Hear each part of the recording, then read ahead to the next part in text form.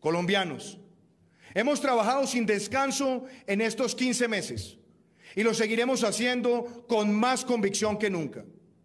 No me cansaré de decirlo.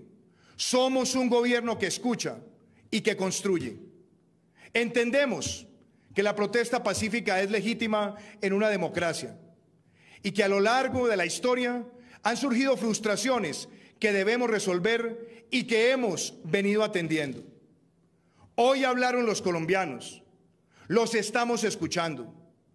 El diálogo social ha sido la bandera principal de este gobierno.